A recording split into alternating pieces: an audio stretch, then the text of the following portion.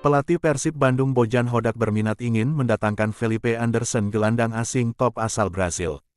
Bintang Lazio ini merapat ke Persib Bandung pada tahun 2024. Liga 1 Indonesia, Persib akan mendapatkan tambahan amunisi di tahun 2024 nanti.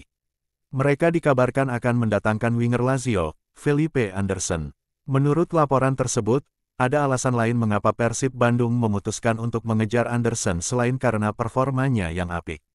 Anderson kontraknya habis di Lazio pada tahun 2024.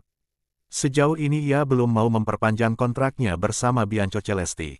Felipe Anderson adalah seorang pemain bola kewarganegaraan Brazil yang bermain untuk klub Lazio biasa bermain sebagai posisi gelandang. Itulah mengapa Persib masuk dan mencoba untuk membujuk sang pemain agar mau bergabung dengan tim mereka di tahun 2024 nanti. Laporan yang sama mengklaim bahwa Felipe Anderson membuka diri untuk pindah ke Persib Bandung.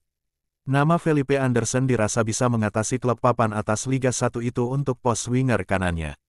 Hal ini bukan tanpa alasan. Sebab, sejak kembali bergabung Lazio pada 2021 lalu, Anderson menjadi andalan tim ibu kota tersebut.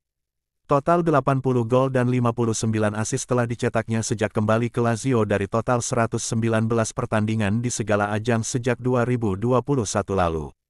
Kemampuannya dalam mencetak gol dan juga mengkreasikan peluang menjadi nilai plus bagi ex penggawa tersebut.